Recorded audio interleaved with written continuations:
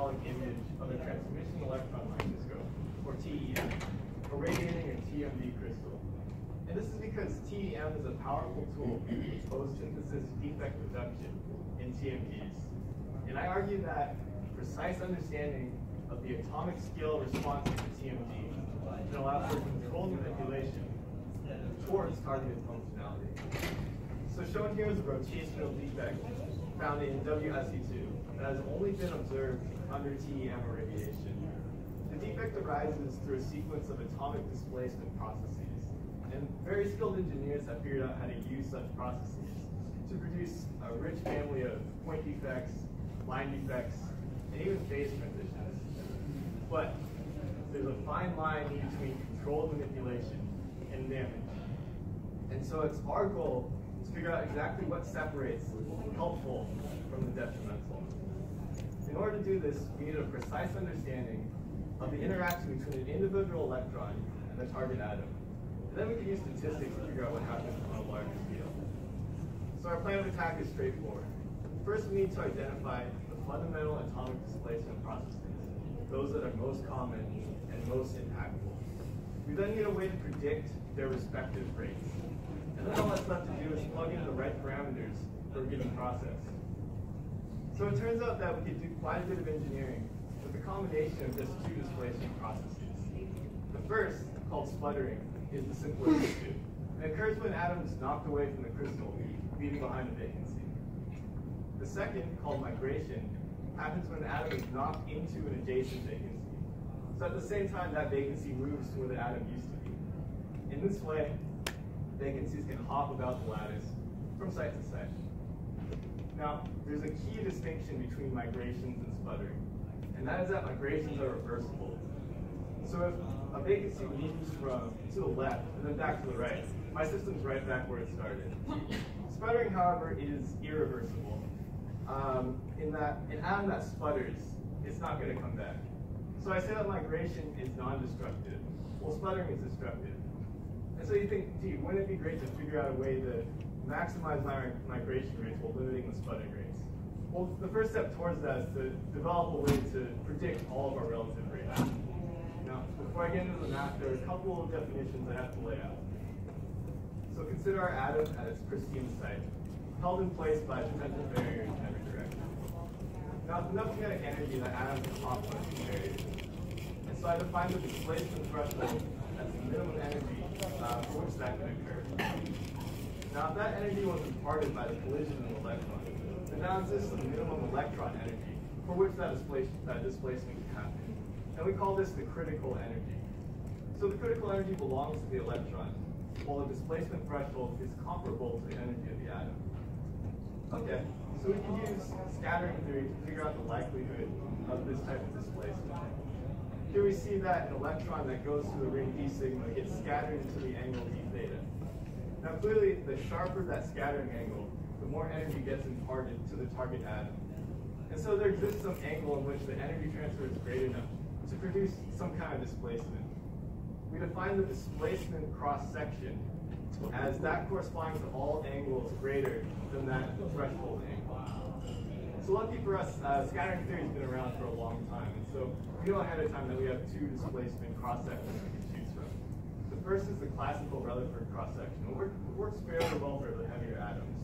Here, P is the relativistic free momentum, alpha is the fine structure constant, and E sub m, or E max, is the energy transfer resulting from a direct collision. Now, if you have small enough handwriting, you could also use the QED-based Mott cross-section, which takes into account spin effects presented by the Dirac equation, and works pretty well for light atoms.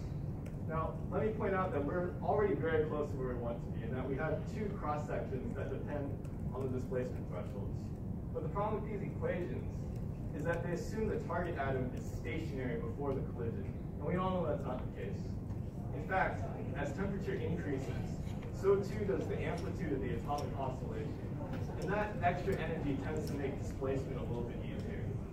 Uh, to be precise, we have to rewrite our displacement threshold as a function of the excitation number and time. Then we plug in this new displacement threshold to write our cross-section as a function of n and t. Then take its expectation value by summing over all of our modes, weighted by the Boltzmann distribution, integrating over time, And that finally gives us our temperature-dependent displacement cross-section, which we use to calculate all of our rates from here on out. Now all that's left is to figure out the displacement thresholds for migration and sputtering and plug them into this equation. And we do that using DFT-based molecular dynamics. Okay. So the simulation for sputtering is very straightforward. We just send an atom away from the crystal with some initial kinetic energy. If that atom returns, we know that energy is less than the sputtering threshold. If it doesn't return, we know the energy is greater. So we see here that the sputtering threshold for WS2 is somewhere between 7.9 and 8 electron volts.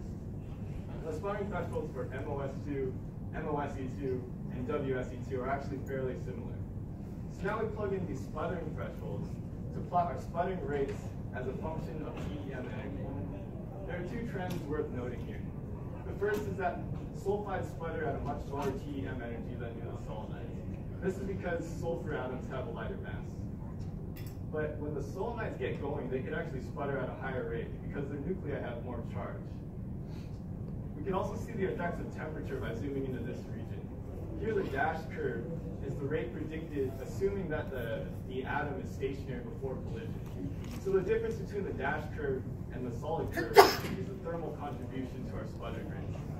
Lastly, that bend in the dash curve, that's the critical energy that I defined earlier. Now remember, we're trying to find a TEM energy that allows for high migration rates and low sputtering rates. And if you want to search systematically, then this critical energy is a great place to start because it's well defined for all of our TMDs. And you can see that the uh, sputtering rates are fairly low at that energy. So with that in mind, we run our molecular dynamics for migration. We have an extra degree of freedom here, the recoil angle speed, since migrations require some in-plane momentum transfer.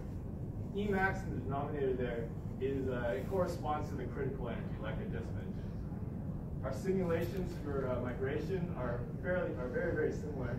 Uh, the migration threshold is the minimum kinetic energy for which migration occurs, and we see that for WS2 and for all the TMDs we consider that the migration thresholds are much smaller than the sputtering thresholds. So we can see the consequences of this by plotting all of our displacement rates as a function of temperature. Now it jumps out at us is that the migration rates are about an order of magnitude higher than the sputtering rates and have almost no temperature dependence. Compare this to the sputtering rates, uh, which seem to increase linearly with temperature. So this means that by lowering temperature, we could limit our sputtering rates without affecting the migration rates.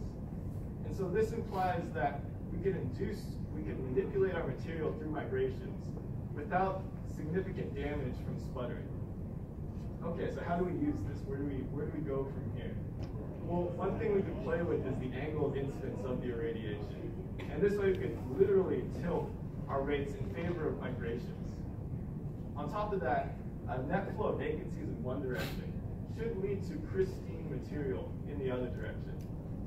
Another important thing to note is that a set of coordinated displacements can lead to a local phase transition within a material. This is particularly interesting for TMDs which the 1T and 1T prime phases are metallic, compared to the semiconducting 2H phase. This can allow for interfaces within a material which the electrical contacts are truly optimal. This has huge applications in device engineering. So to summarize, we identified two fundamental displacement processes, migration and sputtering. Figure out their rates by plugging in their displacement uh, thresholds into our temperature-dependent cross-section and this allows us to show that at just the right TEM energy and at low temperature, we can induce migrations without significant sputtering. This should allow for the controlled manipulation of our radiated TMDs without the risk of significant collateral damage. And so with that, I'd like to thank you for your attention, and I'd be happy to thank, uh, take questions. Thank you.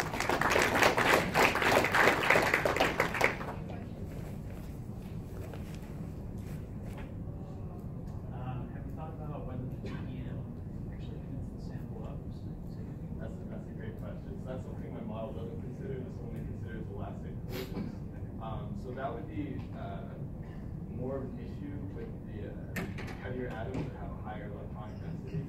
Um, and also, you know, if you increase the power, then the energy imparted onto the atom doesn't dissipate as quickly. But that is, that is something that uh, we should consider, especially for the heavier atoms.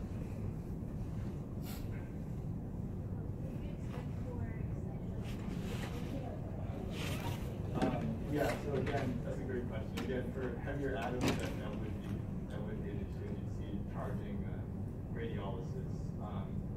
the, uh, the overall process should remain the same. So those processes would tend to lower our displacement thresholds, but we could still plug them into our cross sections and, uh, find the relative rates.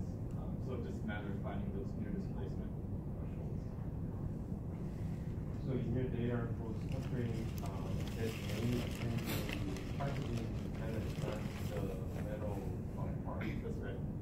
Can you explain that? Uh, Sure, sure. So, um, the, uh, displacement thresholds for transition metal sputtering is around, you know, over twenty electron volts, so that really pales in comparison to the seven electron volts it takes for uh, calcium.